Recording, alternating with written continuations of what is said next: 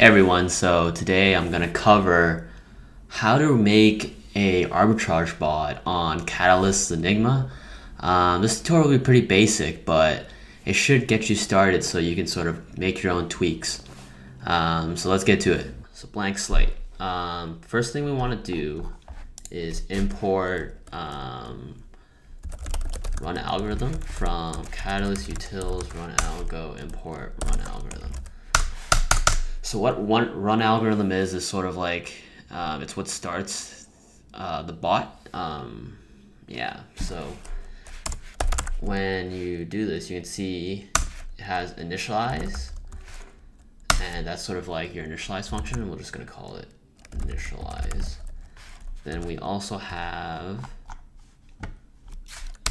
handle data, and that's sort of what handles um, the data on each candlestick. So for each candlestick, what do you want to do? That's what the handle data function is. Um, so we'll call ours handle data for simplicity. And then lastly, you have the last function, which is analyze. So analyze is sort of like after your back test is finished, um, how do you want to visualize um, your algorithm? So you can make a graph to see um, what's your algorithm performant, How did your algorithm do against the versus you just buying and holding, stuff like that. Um, and then after we have those three, uh, we can do our capital base.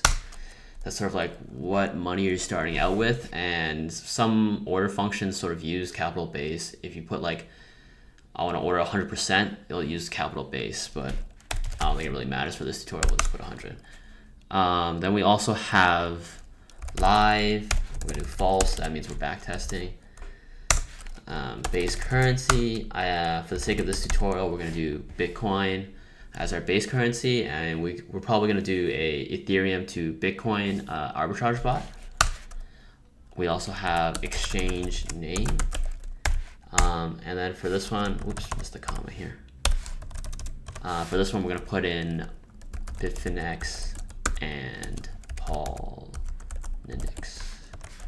The reason we do that is because um, Catalyst already has the daily data for both of these markets. Um, you can check what data they have on their status page. I'll also link that down below. And then we want to check the data frequency. For this tutorial, we're going to do minute data frequency. And then lastly, you want to set your dates that you you want to run the back test for. Um, so we're going to do PD. Oh, we need to import pandas actually. Import pandas. All right, so then we can do to date time. And we're just gonna start off with like one day so the test runs like reasonably quick. Um, but obviously you can test on like months of data if you wanted to. And then lastly, we need an end time. So end to date time. We do 12, 13. Sweet. Um, so that's that's our run algorithm. You can see there's like red underlines on the stuff we haven't done yet. So we need to make an initialize function. We also need to make a handle data function, and we need to make an analyze function. So let's get started with the initialize function. Um, we do define initialize context. Um, and this is where we're gonna get the tickers and tell like Catalyst what pairs we want to use to run our arbitrage algorithm. So for this tutorial, we're going to do bittrex. So we're just going to, this sort of defines a variable within the context variable. The context variable is a variable that can be just used between initialize, handle data, and analyze. So that's sort of like the scope of it. Um, so this one we're going to do context.exchanges bitfinex, and then we'll do the same for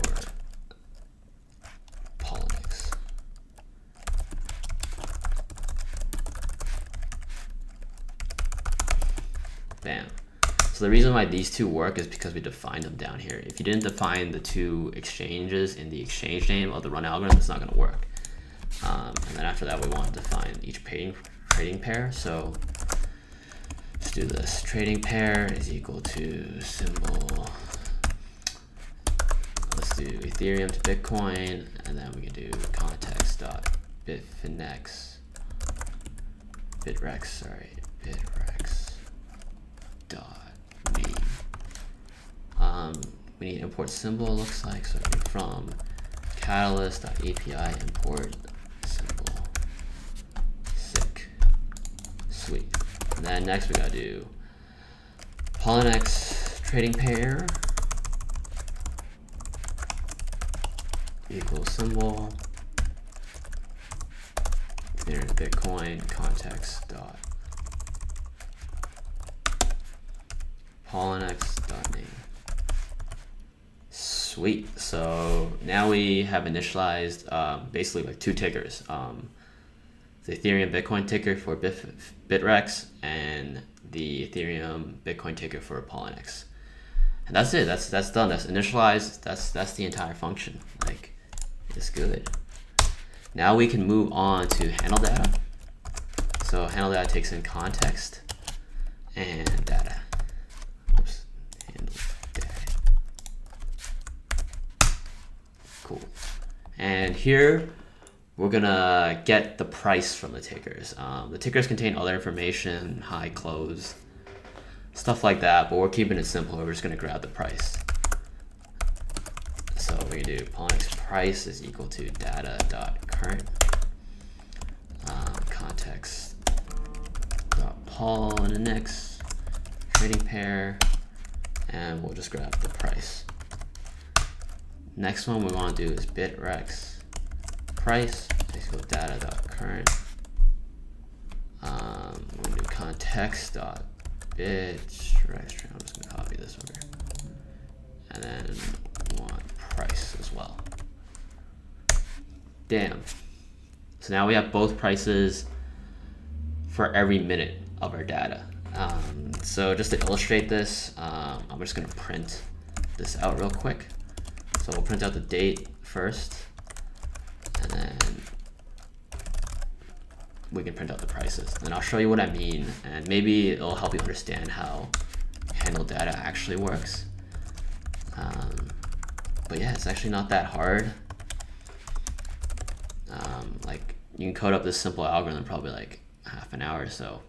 It's not actually going to work and make you money, but it's a good starting point, I would say. Um, so let's do price. And then lastly, we want to print out bittrex's price. So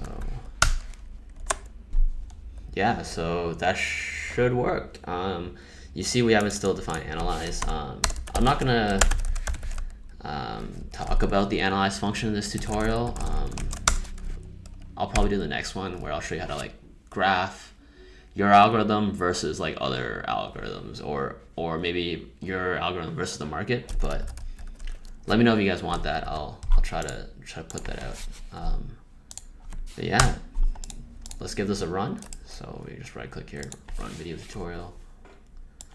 Let's see what we got here. Catalyst is also not the fastest at starting up. Um, yeah, this always takes some time. Um, oh, but there we go. So if I hit pause here on the execution, this is kind of like one of the benefits of using an IDE like PyCharm. You can just pause execution. Um, we can look here. So we can see that I did uh, 2017 December 12th to December 13th and now we can see the price. So say on December 12th of 2017 at, you know, 12.24 a.m. or in 24 hour time that, these were the two prices.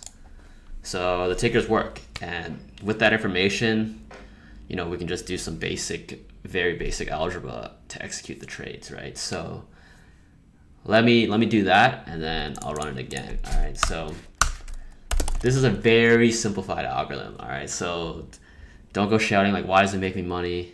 It's not gonna make you money. This is just like a proof of concept so you can sort of like get the idea. I'm not gonna talk about slippage in this video. I'm not gonna talk about um, like when is the best time to execute the arbitrage. Should I do it now? Should I do it later? You know, how, how big should I wait for the gap to happen? Um, the gap between the two prices, like how large should I wait? Um, but let's let's do something real simple. Let's say like the price on Poloniex is greater than the price on Bittrex. what do we want to do here? We want to buy on Bittrex and sell on Poloniex. Correct? That's what we want to do, right? It's cause, because we'll make money that way, right? Um, if only it was that simple in real life, though, sadly. Um, this sort of strategy sort of assumes that you have a float of Bitcoin and Ethereum on both exchanges. That way you don't have to go through the whole like buy some on Bit, buy some on this exchange and then wait for the transfer to the other exchange. I think that's kind of silly. It makes way more sense for you to have a float on both exchanges and then for you to rebalance sort of like the accounts from time to time. Um, yeah, so that's that's the assumption I'm making here. Um, then we want to do order. Um, I think we actually need to import order here. So order, boom, and then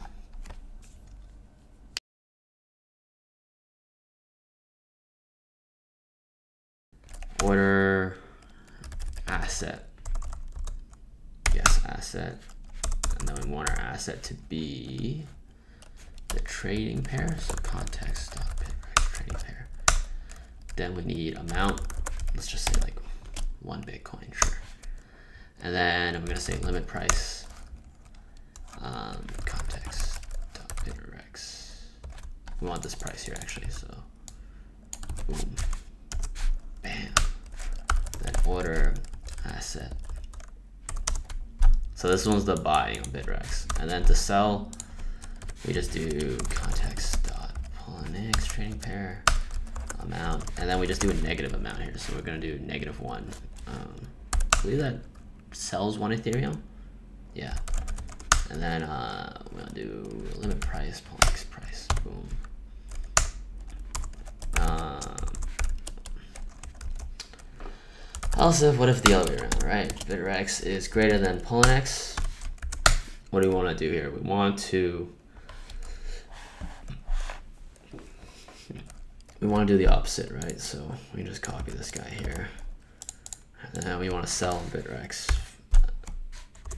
And then we want to buy on Poloniex. Bam! That's it, you're done. That's like the simplest of simple arbitrage bots you can make. Um, I'm gonna run it right now and then you're gonna see what's what's happening. So here we go. Dun dun dun dun dun.